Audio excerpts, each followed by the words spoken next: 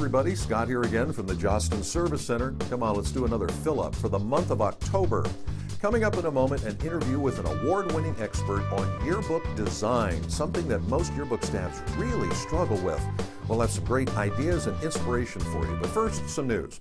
Hopefully you've noticed the Jostens Replay It app back up and running again for both Apple and Android. We appreciate your patience. A lot of folks already using it. Some folks have said, well, hey, it looks exactly the same as before. Well, that's true for now. We've changed the infrastructure, what makes the app work. So we should have improved performance and coming up down the line, some cool new features. So stay tuned for that.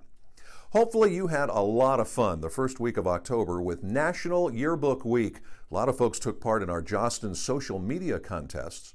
So, what's the next fun event coming up? Well, here's a hint Halloween, end of the month, right? If you have a dress up day at your school, hey, some photo opportunities there. But at the very least, maybe with your book sales and promotion, find fun ways to tie Halloween into that to spread the word throughout your building about getting your book. Remember, our number one rule here yearbooking is supposed to be fun, so go out and make it so.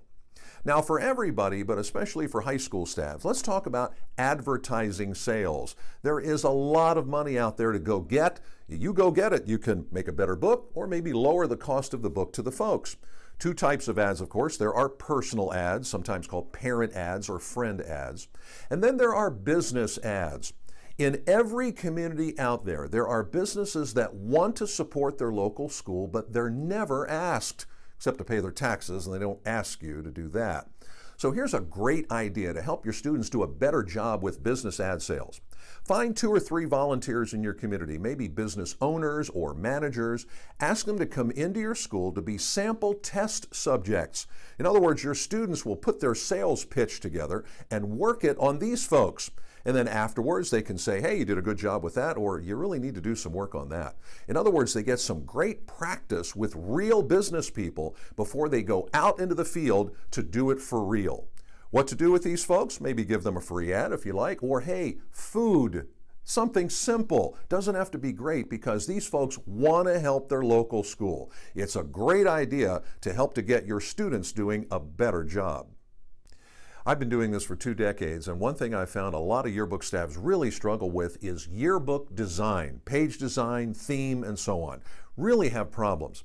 Well, recently we talked to an award winning creative expert on how you can immediately make a better yearbook with better design.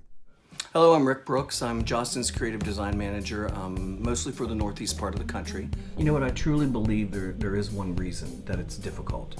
It's because we look at ourselves for inspiration. We look at last year's book for inspiration. We look at the year before last. We go back in our own best stuff and try to replicate that stuff again and again and again. And sometimes the stuff was great, but we don't tend to improve it.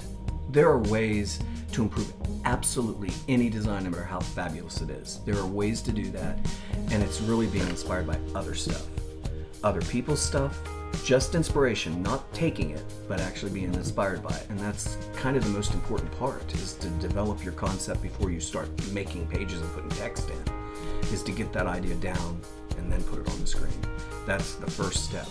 The other step is to actually use elements that enhance the goal, which is to show the photographs. The first key thing is, is the photography there still needs to be a dominant image.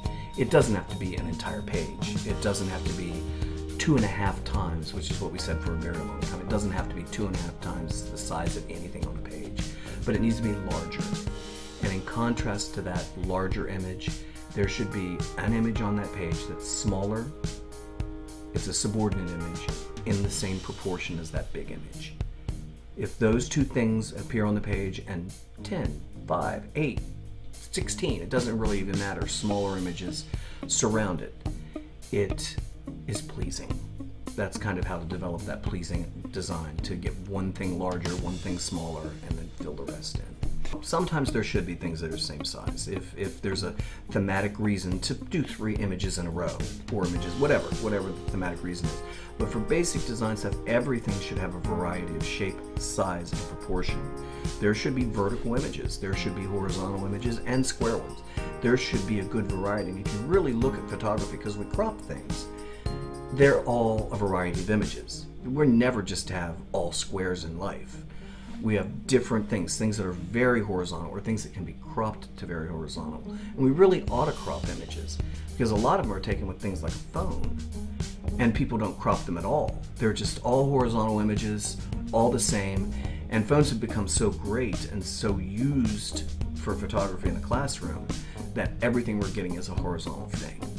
And that's a bad direction turn that phone sideways just like you would a camera. There's got to be a headline. Every every page, every double page spread ought to have some headline and some copy. There should always be something. Not just for journalistic reasons, because these are journalistic things, but for design reasons. If you have great images, if you have a student at your school that can take great photography, and I know a lot of us do, that ought to be featured. That should be the goal, to use it when it's beautiful. Many thanks to Rick for all of his terrific advice. Now, if you'd like to hear the entire half hour interview with far more ideas and tips on how to create a better design for your yearbook, check out our podcast at the address shown here on the screen. And while you're there, make sure to mark to follow our Yearbooking Report podcast so you never miss an episode. Finally, let's talk about another feature on Yearbook Avenue that is terrific that a lot of folks really don't do much with. It's the sales dashboard.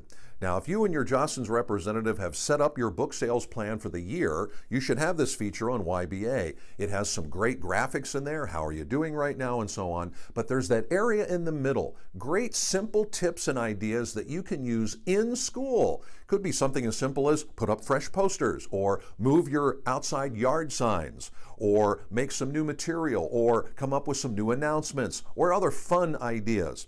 Absolutely check the sales dashboard on a regular basis. You can even check them off on the sales dashboard as you do them. This will help you create a better yearbook sale and a better effort.